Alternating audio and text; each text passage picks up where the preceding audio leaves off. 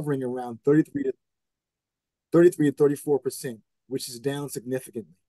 We are equally excited to be working in partnership with the Maryland Department of Service and Civic Innovation and looking forward to hearing more about the service year and their special presentation later on during this session. We are mission driven and singly focused on meeting the needs of students across the state of Maryland. And today's virtual town hall is the focus. We are equally delighted to be working in partnership with College Bound in the city of Baltimore. We have with us today Ms. Ayana Jones, Director of Training and Early College Access from College Bound, who will be moderating today's panel. With that, again, thank you, Ayana, for being here today. I turn the floor over to you. Thank you. Thank you so much, Derek, for that warm welcome. Um, it is indeed a pleasure to be here today and moderating for you all. We are excited for the presentation. We'll be discussing, um, of course, as you said, FAFSA, as well um, as the governor's years of service. It's a new day in Maryland for higher education, and there are several opportunities we want to let folks know about for our students as they continue to move towards degree attainment, um, as well as becoming productive citizens, whether it's entrepreneurship or going into the workforce. We want to make sure that we're supporting our students. Uh, so we want to go ahead and um, move over to Mr. Al Dorsett. He is the director of the Office of Student Financial Assistance, and he is our in-house subject matter expert on all things FAFSA related and financial aid related. Um, and after Al, you will hear from um, Miss Brittany Stevens. But Al, I'm going to give you the floor. Thank you, Miss Jones. And I will, um, well, I wanted to share my screen, but my sharing has been disabled. Um, if I can't share, if uh, someone could share my presentation.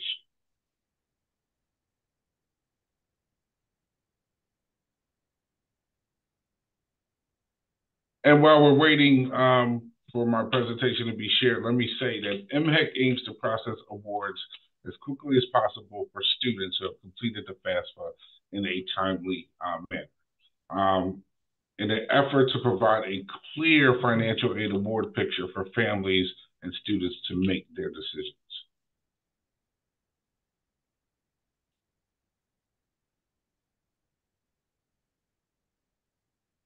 Okay, and everybody should be able to see my screen now.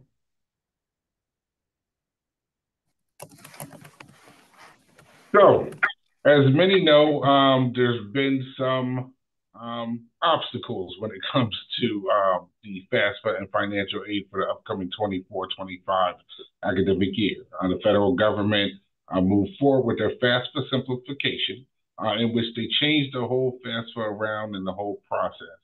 Uh, this led to the FAFSA changing from becoming available October 1st, how it usually was, to not being available until the end of December. And then, even more so, with changes, um, it led to um, schools and state institutions such as MHEC not being able to uh, receive what we call ISIRs, Institutional Student Information Records, or similar to student SAR, student aid records that hold that FAFSA data for us to process. Uh, many complications have come up that the federal government has has been strong in trying to attack and move forward um, so that students can receive um, their award packages from schools and states can determine what students are eligible for the different state awards that we have. Uh, last month, Department of, Education delivered uh, several ISIRs, thousands of ISIRs um, to uh, state entities and institutions. Uh, unfortunately, there were issues when they were delivering those ISIRs, which has kind of pushed back that time frame. Now, due to that pushback in that time frame and these issues, let me indicate that uh, based off that, Maryland Higher Education did push back the um, final deadline to submit the FAFSA to June 1st, 2024, as well as we pushed back the priority deadline um, to May 15th, 2024. And those key dates are really there, right? Because we're not looking at the March 1st date anymore. We understand the obstacles that have come in, and it's not May 15th yet. So individuals that have not done their FAFSA still can do their FAFSA. especially now that the federal government is pushing out those records to institutions and the state. But with those issues that occurred, about 20% of applications were affected, in which uh, some data fields uh, pulled from the IRS were mixed up uh, that had incorrect information on the ISIRs, giving the student the wrong student aid index. Uh, in some cases, education tax credit, um, credit data field was inaccurate, and other instances when individuals were uh, could not import their IRS information, and the federal government gave them instructions on how to manually input their tax information. Those instructions uh, were wrong in some instances where certain data was uh, told to be put in certain places when it should have been other data to be put in certain places. To help rectify this issue, um, the federal government did identify records of unaffected uh, students and records of affected students. So they provided this to uh, us as Maryland Higher Education Commission, as well as institutions for students that put listed the their institution on their FAFSA. And this really helps because one, there's two pieces of it. As we import ISIRs, and due to these issues, we have not imported these records into the MDCAP system. So individuals may have completed the FAFSA and say, well, I, you know, Maryland doesn't have my FAFSA yet. That's because of these different issues. We want to make sure we're not just importing bad data into the system and then trying to do awards for students and students not being appropriately awarded or even being identified as not eligible when they will be eligible. We've worked with the Department of Education through many of these errors, so we look to be importing uh, these ISIR records. Um, as of Monday, they will be imported into the MDCAP system, and students will be able to see their ISIR records. Now, remember, there's two groups of students uh, because the Department of Education did identify individuals with errors, and I'll go over kind of the number of how many individuals have those errors. But what we will be doing is communicating one communication to individuals that have completed their FAFSA and have no errors, saying that we've received their FAFSA, and they will get a notification. For individuals that have an error, they will get a separate notification indicating that we received their FAFSA, but the Department of Education has identified the error with their FAFSA. And that once we receive the updated FAFSA from the Department of Education, then we will move forward in reviewing them for the eligibility of their awards.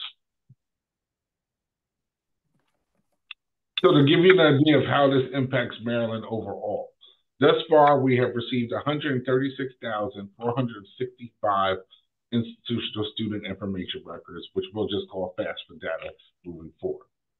Of that FAFSA data, there were 22,530 records with errors. These are errors that the Department of Education needs to reprocess those records and re-provide them to us. Additionally, there were 15,617 rejected records now, reject can be anywhere from uh, a parent did not sign the FAFSA um, to uh, information was manually put incorrect. Students should have received a SAR, a student aid report, that identifies if their FAFSA was rejected. The Department of Ed has recently opened where students can now go back and start um, correcting their FAFSA uh, with their information that needs to be corrected. So students and families should be taking advantage of that now that's open if the student received the R, the SAR. The SAR, the student aid report, is very important. A lot of times students don't see it, students don't look for it. We want to educate students and parents in making sure that they are reading that SAR, receiving that SAR, and reading that SAR so that they can kind of see where they're at uh, with their status when it comes to the FAFSA.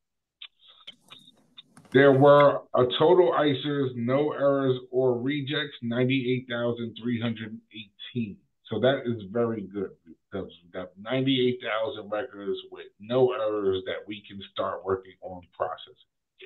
And then I bring this into place because this is real key when we talk about no family size, and I'll go more detail into it.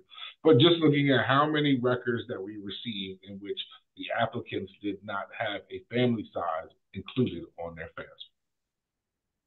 Now, no family size is very important because although we do use, as Maryland Higher Education Commission, the SEI Student Aid Index to uh, determine the award amount the student should receive, right? So if a student uh, is determined eligible for the guaranteed access grant, what we do is we look at the institution that the student is attending, uh, what the cost of attendance um, is at that institution. Then we look at the student's SAI, that's subtracted uh, from the cost of attendance to determine need.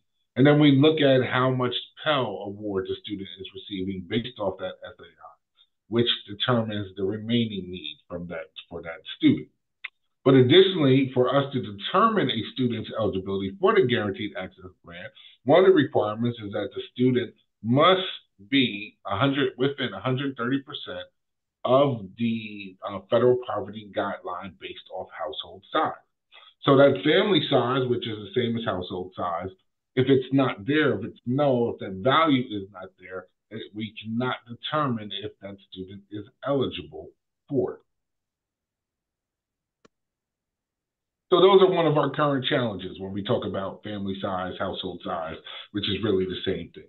Um, on the FAFSA, there are several different places in which um, we can um, determine family size and household size, and the federal government has given instructions recently on how to calculate that, uh, which is part of that process that we've been testing, which is why the FAFSA information, as well as the MHEC One app information, has not been available for students to see in their MDCAPs yet. Uh, but this week we are finalizing that testing. We will be importing those MHEC One app records as well as those FAFSA records into the MDCAP system. And as of April 22, um, 2024, students will be able to log into MDCAPs and see their FAFSA or MHEC One app information. So there are instances in which a the family size will never be on the FAFSA, uh, what we call the null value. Uh, for independent students whose parents are not required to file a federal tax return or an independent student and spouse, if applicable, who was not required a federal tax return for the prior tax year, is assigned to SAI equal to negative 1500, which we call Pell Formula 1.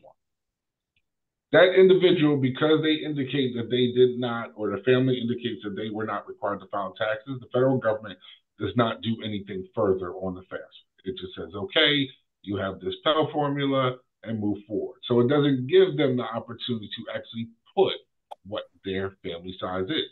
So you may have a independent student that um, is in foster care, and that individual is independent, has no family, uh, and did not work. Uh, however, um, in that instance, the family size would not be there. Because it is an independent student, we do identify that that's one independent student, so we would not request the family size for that. But you may have a student whose parents just, you know, unfortunately do not work. It may be two in the household or it may be three in the household. Uh, but they indicated they did not work um, or they indicated they did not file taxes because they were not required to, because the IRS does have thresholds in which individuals are not required to file taxes. In those cases, we would not know the household size because they indicated they did not file taxes on the FAFSA. Uh, the FAFSA did not ask them any more information on family size. So when we get the FAFSA, that is a null value. In these instances, we are working now on a solution in which the um, student will get notification uh, and we will request them to fill out just indicating what their um, family size is. Additionally, we will also uh, provide institutions that um, the student may have listed on their FAFSA, a roster of students who have uh, identified or are missing that family size value. So those institutions, if they have already um, contacted the student or have contact with the student and know that family size, they'll be able to update for the student. So two ways that the student will be able to update, even the institution on their behalf, or that student themselves will be able to go into the MDCAP system in order to do it. And as we identify these students, we will communicate through MDCAPs and email uh, of these students and notify them what they need to do in their next steps. So we are looking on a solution or working on a solution for that. Just to reiterate, um, the GA Guaranteed Access Grant is determined, or one of the requirements is based off 130% of the federal poverty guidelines, based off household size. Uh, it is on our website, but here it is as well. Uh, so it's a family of two. Of course, um, they cannot make over $23,803. A family of three, $29,939, and so forth.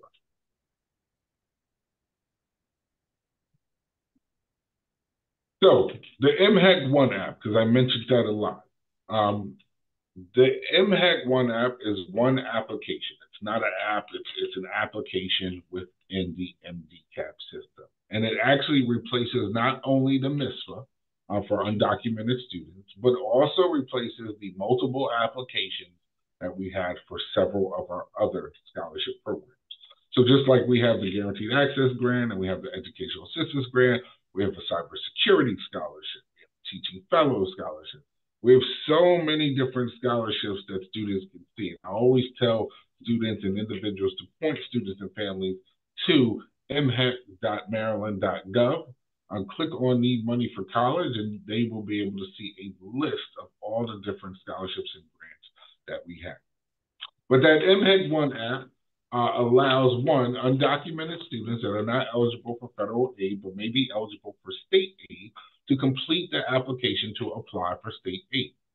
Uh, in addition, uh, it allows for students who did complete the FAFSA um, to apply for other programs. Now, students who complete the FAFSA are automatically reviewed to determine eligibility for the Guaranteed Access Grant or the Educational Assistance Grant as well as the Promise Scholarship Program if the student indicates that they are going to the community college.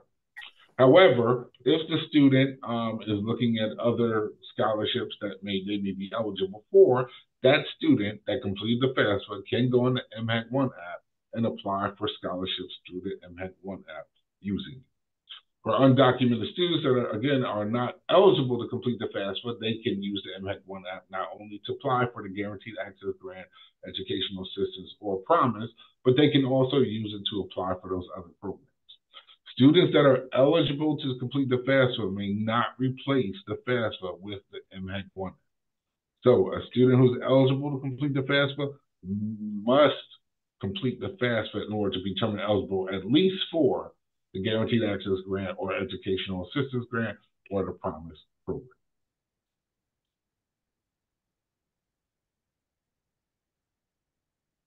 So before we go into our awarding timeline, let's talk about the FAFSA Completion Initiative, which is a resource for many school districts, high schools, local education agencies, and certain designated uh, entities such as nonprofit organizations working with high school students.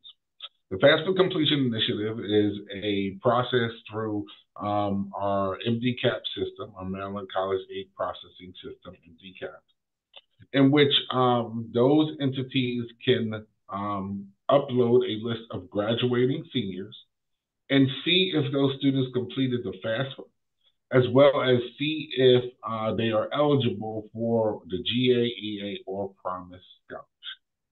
So definitely we tell individuals that are part of these agencies to take advantage of this if you have not already. Uh, it will be available uh, this upcoming Monday, April 22nd, once the FAFSA data and MHEC One app data is loaded into our production environment. So it's not available yet because of the issues that we face with the federal government and trying to make sure everything's correct. But once we load that data in there, uh, which will be over this weekend and, and by Monday, uh, that data will be available for individuals to pull a report. So, what's MHEC's plan? MHEC will begin awarding students that have completed the FAFSA and have an official student aid index starting May 1st. On May 1st, we'll be awarding, or by May 1st, we'll be awarding students that have completed the FAFSA or MHEC One app by April 15th. If a student has been selected for verification and has submitted the documentation uh, for that, um, then they will be awarded as well. If the student has been selected for verification, which I'll get into, and did not get a chance to submit the document, that is okay. The student is not going to get passed. The student is still going to be awarded. The student would just be awarded in our next timeline, which will be May 15th.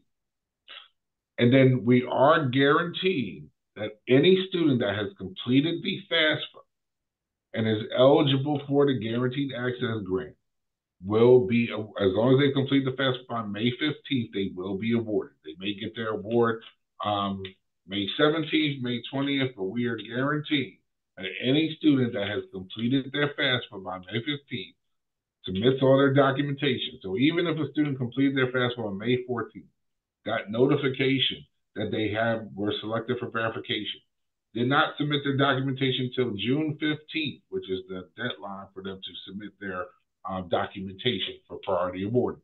We will make sure that we still award that student because they completed their FAFSA by May 15th or prior, and they submitted their required documentation by June 15th or prior. So MHEC is dedicated to making sure that students are awarded these funds. So I talked about verification a little bit.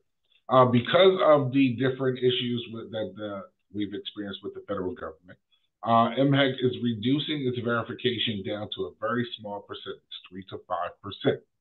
Uh, there will be two categories of selection, uh, which will is called automated and randomized. So automated.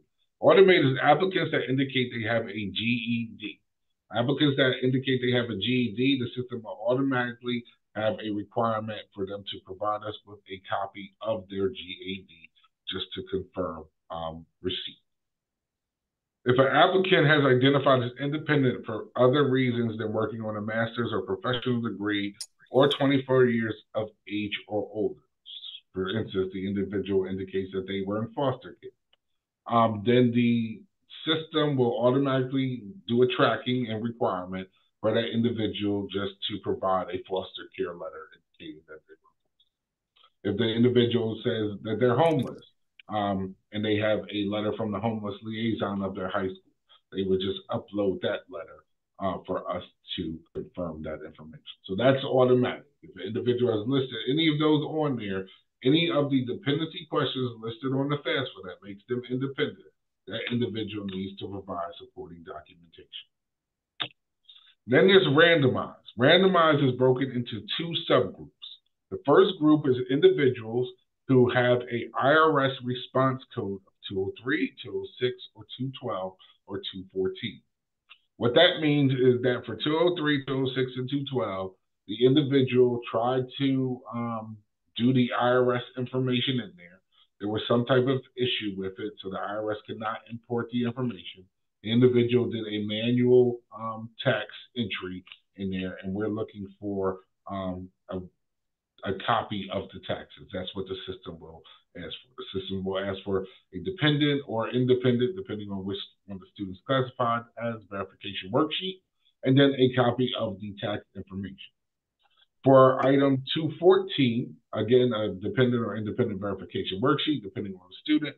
And then we will ask for a non-filing form because 214 indicates that the individual did not file tax. The second subgroup is 3 to 5% of individuals who complete the MHEC 1. So these are the um, undocumented students that weren't eligible to complete a FAFSA completed the MHEC One app. They've been identified as potentially eligible for GA or EA, 3 to 5% of those individuals, and the same type of documentation as um, the first subgroup, either dependent or independent verification worksheet, depending on uh, how the student is classified.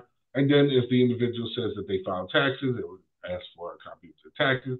If the individual said that they did not file taxes, then it would be a non-filed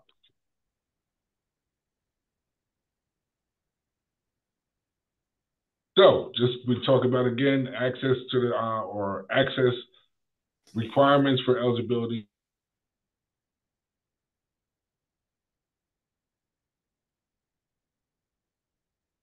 Although I push students to get that FAFSA done by May 15th.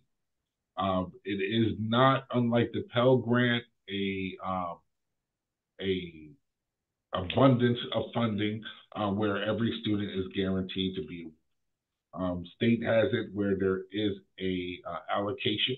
Uh, the allocation for this year is a little bit over a hundred million dollars. Um, so we do push that every student, as much as possible, complete the FAFSA by May 15th, because again, we are guaranteeing that individuals who complete the FAFSA by May 15th and submit all their documents and they're determined eligible for GA will be awarded. However, there is no guarantee um, after the May 15th. After May 15th, we will have to look at what funding is available, and we award all GA students first, um, all initial GA students first, uh, based off law. Additionally, there's been recent changes, which uh, many are excited about. Uh, the high school cumulative GPA requirement has been removed. Uh, so students are no longer uh, required to have a certain high school GPA. The GED score was changed from 165 to 145, which is the minimum score to obtain your GED. Applicants must apply within six years of high school graduation. So before it was one year, now applicants have up to six years. And applicants must be under the age of 26. Uh, so before applicants had to be under the age of 22, now they must be the, under the age of 26. So even if an applicant is 25 years old and six months left to their birthday. As long as they get that FAFSA in by the priority filing date and they're under the age of 26, that applicant can be eligible to receive the GA grant as long as they're eligible. They meet all other eligibility requirements. The award amount for this year is expected to be 22,100. That is the maximum award amount. Of course, like I said, it is based off need. So depending on what institution a student goes to. If a student goes to one institution that has a cost of attendance of 10,000, they have a zero SAI, they're getting the max Pell, that student would not get the whole 22,000. They would get the amount up to the need to pay the remaining balance or cost of their institution. However, that student uh, attends a institution that is living on campus, and their let's say their cost of attendance is 30,000. They have a uh, zero SAI, their Pell is seven thousand or eight thousand dollars. That student still has a remaining need because you take that seven thousand minus that thirty thousand leaves twenty three thousand. That student will receive the maximum twenty two one hundred. So that's what we mean by remaining need. Awarding priorities, as I indicated, the first priority is always GA renewals. The second priority is EA renewals, and then GA initials, and then last EA initials. Initials is not expected to be awarded if um, if we can until the end of June. Uh, we must and are required to award all GA students or GA eligible students first. So again, we want to make sure that we get that FAFSA in by May 15th or that MHEC 1 app in by May 15th for the MHEC One app, students want to create their MD-CAPS account if they have not done so, and then complete that MHEC One app. And again, our aim is to award students as fast as possible so their families and them can make the best choice for it. And with that, that ends my presentation. Uh, so if anyone has any questions, um, please feel free to ask. Thank you so much, Al. I do see um, one question in the chat.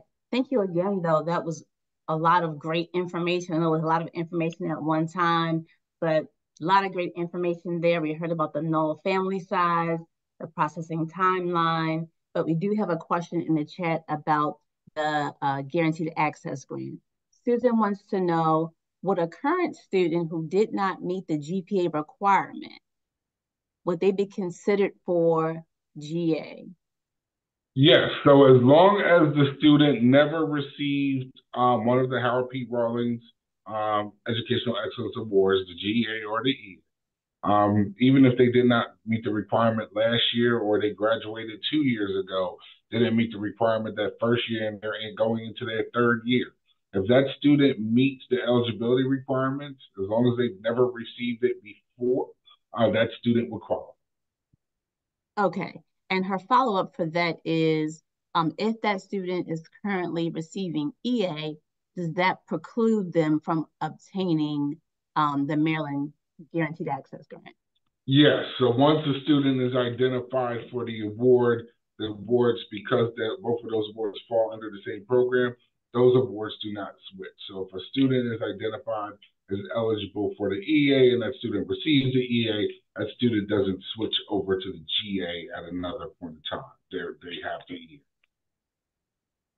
Okay, so it's 1132. And uh, we're going to come back to some of those other questions at the end of our program. But for now, we do want to um, introduce Ms. Brittany Stevens. She is from the Department of uh, Service and Civic Innovation. So Brittany, just hearing what Mr. Dorsett just said about that change, being able to receive that GAG up to age 26, this is um, a game changer for many of our students who um, would not previously be eligible. Um, we told students that were Pell eligible in the past, maybe you may not want to consider that gap year, but now it looks like that gap year may end up being a good fit um, for some Pell eligible students. So I'm going to let you talk about what your program has to offer. Thank you, Ayana, and good afternoon. It is a true winning Wednesday, and yes, we have a program for you all. So I want to introduce to some and reintroduce and reinform of others of the Department of Service and Civic Innovation, we are the newest state agency. So we're the babies on the block. We just came into fruition in April under the SERVE Act. And the SERVE Act stands for Serving Every Region Through Vocation Exploration. This program is for the entire state of Maryland. And the program that I'm talking about is the Maryland Corps service year option. So if you have a student that wants to take a gap year, we like to call it a growth year. This is a great opportunity for them and a perfect segue from what Mr. Dorsett had just said. Um, if the person is not completely ready to go to college, there is a chance for them as well because you may be scratching your head. Graduation is coming up next month. You're like, what is this student going to do? What are my previous students that may have not gone to college? Is there something that they can do? And the answer is Yes, because it's a winning Wednesday. So there's a program for you. And there's Department of Service and Civic Innovation. We house many things, but the greatest things is the Maryland Corps Service Year option. If you don't remember anything from my presentation, I want you to remember serve.maryland.gov. That is serve.maryland, and Maryland is spelled out, .gov. That is where you can find additional information as well as our member application. So let's get right on into it. So the Maryland Corps Service Year option, it is two streams in one river, and it's raining outside right now, so I'm sad about that. But it is two streams into one river. The Maryland Corps, that is anyone that is over the age of 18, no matter what your educational background is or what your status is in life as far as if you're documented or undocumented. So you can have either dropped out of either high school or you can have your PhD. That would be the Maryland Corps. For the students that you directly work with, eh, that's going to be the service year option service year option. And it is exactly what the word means. It means that members will be serving for a year, which is, a, is essentially nine months. And it's an additional option for them to do outside of either going into college, going into a trade school, or going into the military service. And we define service in our department very broadly. So, service looks like to us any and everything that is helping someone out, right? So, typically, you may think it's actually hands on. You all are service workers because you're doing service for the community. Um, so it's the service year option, anyone that's the ages between 18 and 21 years old that have recently earned their Maryland high school diploma or their GED. So it is a nine month program where we match as best as our ability our members, and those are the participants in our program, to a something that they're passionate about, something that makes their heart beat a little bit more, a career, if you will, right? We match them to either a nonprofit, for profit, or government agency that is in their area. So it has to be locally or surrounded to them, right? So, first thing is the matching because they went on serve.maryland.gov. They filled out the application. That's going to take them about 20 minutes to fill out. Our second deadline is on May 15th. We're going to match you as best as our ability to a host site partner. Our host site partners are either a nonprofit, for profit, or government agency that is within their community. So if you live in Caroline County, we're not going to match you to a place that's in Garrett County because that's not going to be sustainable to you. But this is for the entire state of Maryland. The great part the, about this program, which really truly makes this a growth year, is our wraparound services. We have professional development, right? Our professional development goes over, but not limited to, advocacy. We teach wellness, uh, how to truly interact with people, how to have tough conversations, financial literacy, and education. Because we pay members minimally $15 an hour to be in this program. Now, the program is a 40 hour full work week, which looks about a nine to five. Our 40 hour work week looks slightly different than most. We know you all probably work 60 hours a week, but for this 40 hours a week, we do 30 hours of work and 10 hours of professional development. And our professional development is truly engaging. Some of them is virtually, but some of them is in person. We take our members to different community colleges, to different universities across the state of Maryland to further enhance that exposure that, you know what, college is still for me. I'm just taking nine months to do this program, right? To get hands on experience.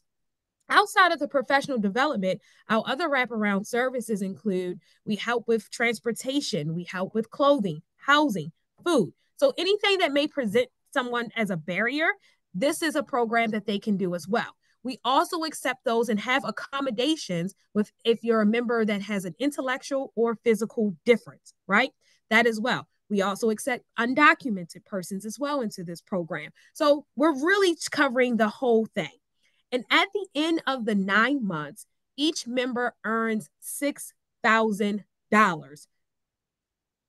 That's amazing to me right there. $6,000 at the end of the program. You guys should be excited about that. So, with that $6,000, we do give it in two different ways.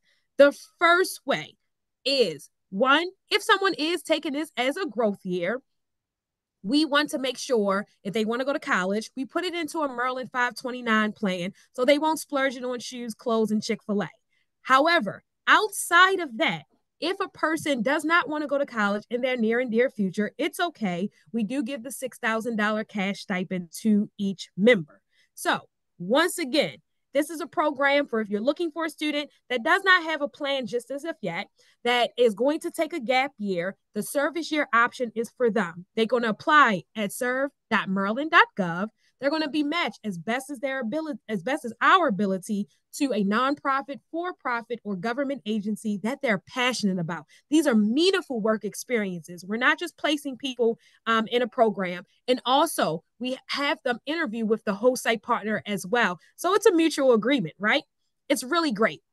Wraparound services, $15 an hour, nine months only have to do this program for nine months, but you can stay on for an additional year because we know most of our members may not be quite ready after that nine months. All of our jobs, we've asked our host site partner to make sure do you have the capacity to hire our members on at a full time place, right?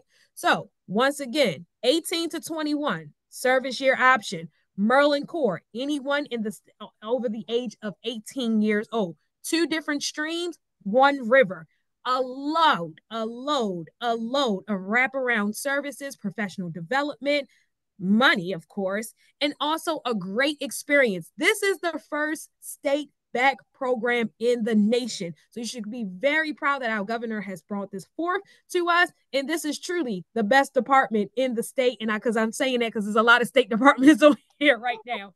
The Department of Service and Civic Innovation.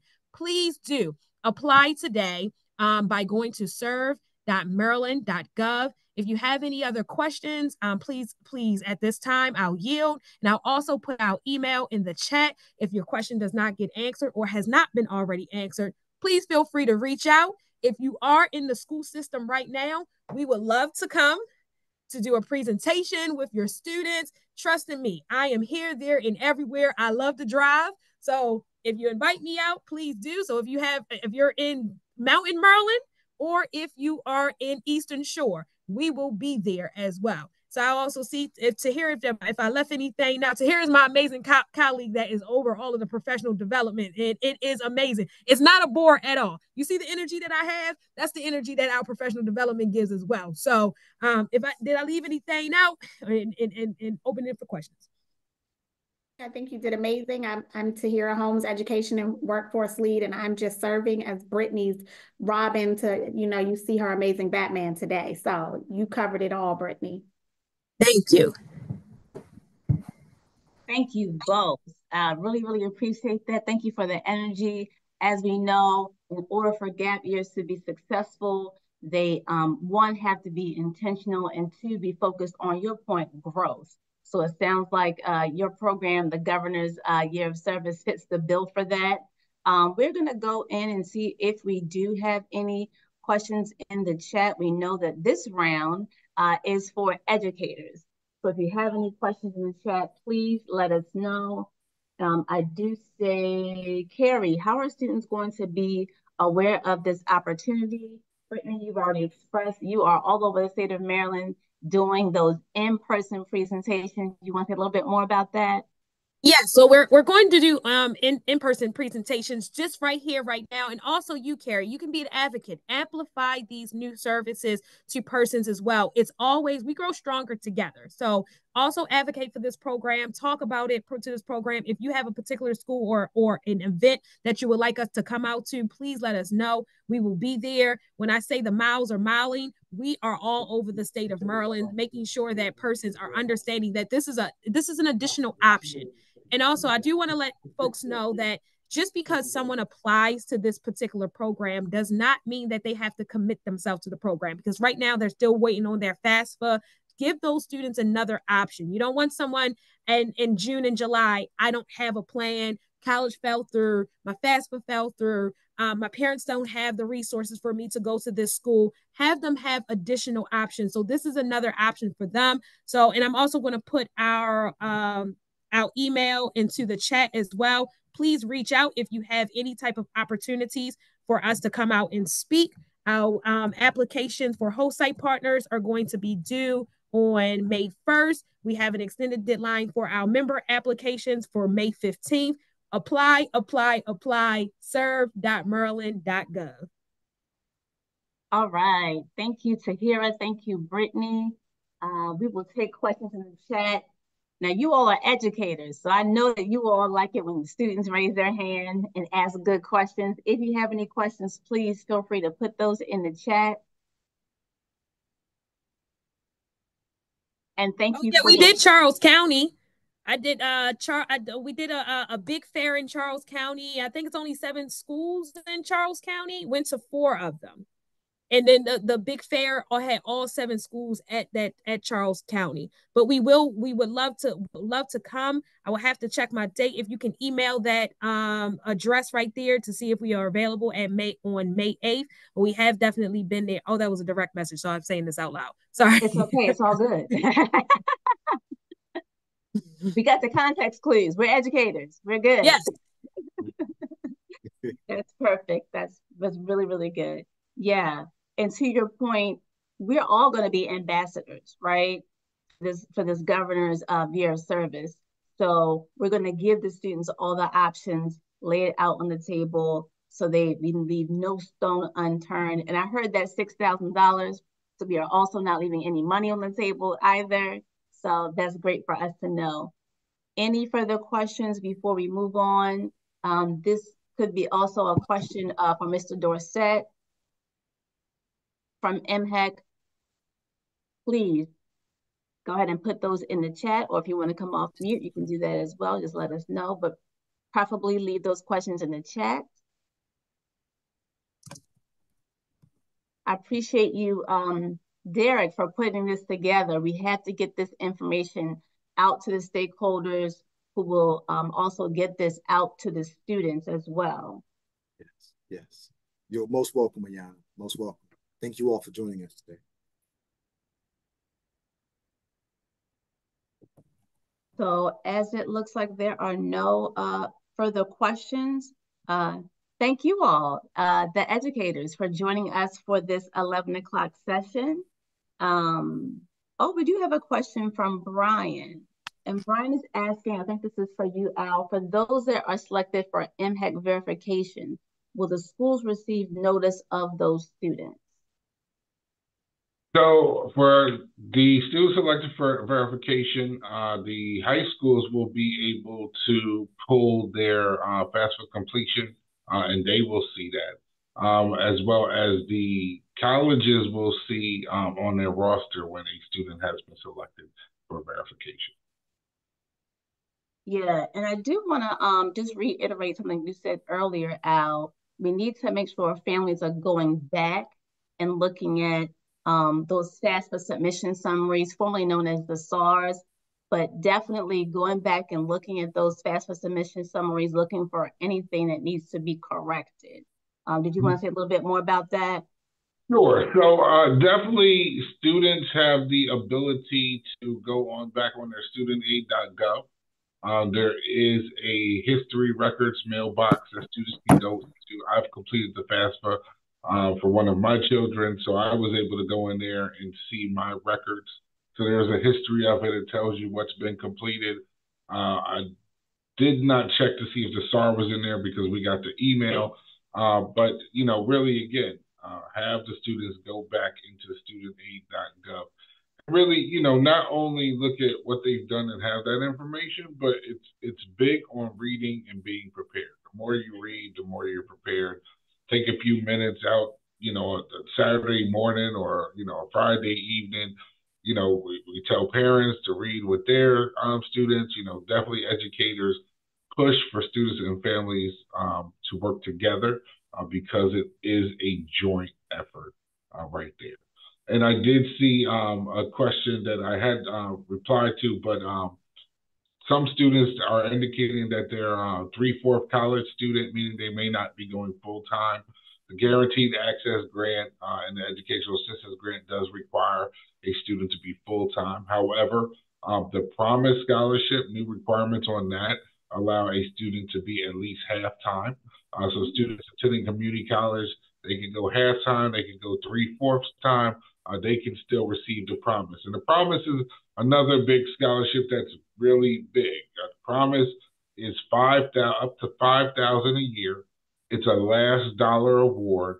It covers, you know, the remaining need right there. When you look at a community college, community college, you know, twelve credits full time is about three thousand dollars a semester these days.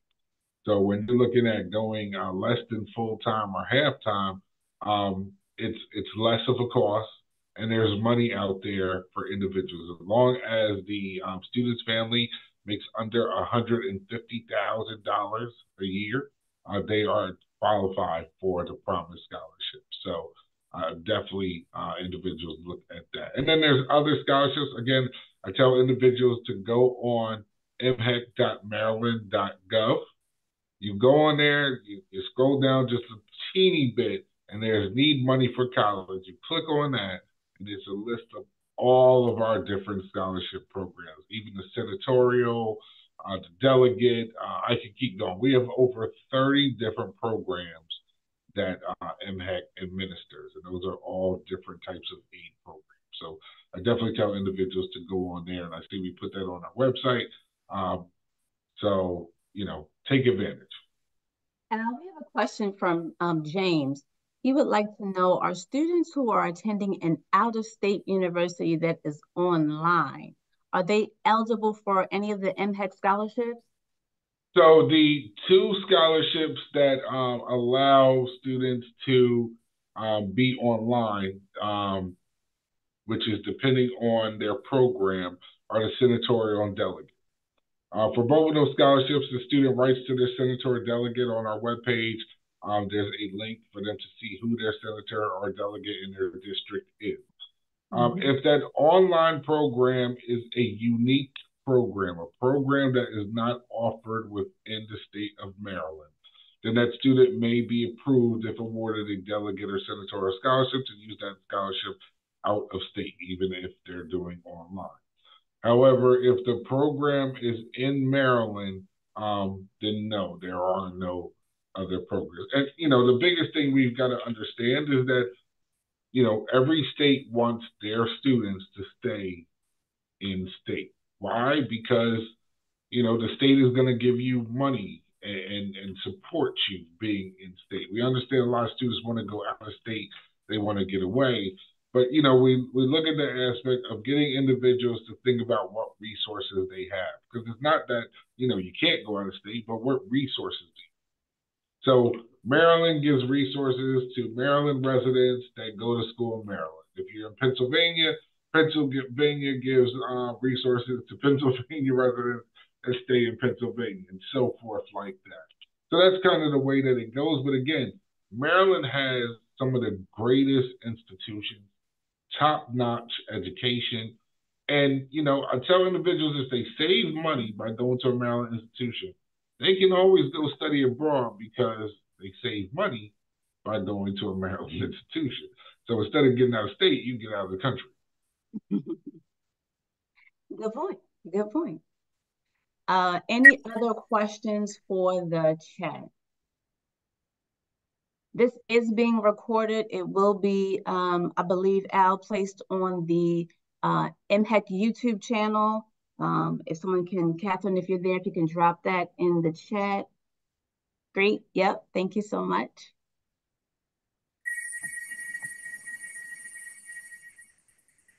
All right. So with that, um, we're going to thank you all for uh, your commitment to ensuring that the students get the information, the most up-to-date information, and the most robust information possible. Um, we've heard about the changes to the FAFSA. We've heard about the changes to um, the Guaranteed Access Grant. And thank you again to the Governor's Year of Service. Um, again, this is a reminder, if you have any further questions, all those links are in the chat. We thank you for joining us today.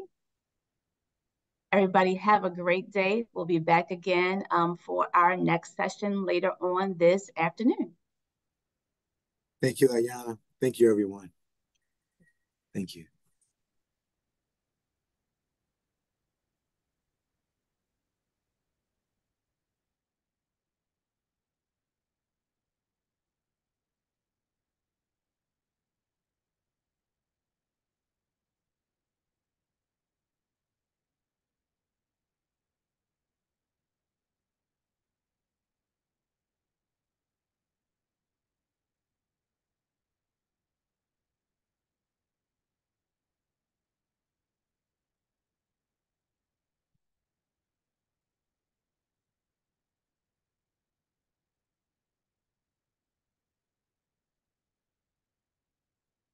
Thank you, Deborah. That was great.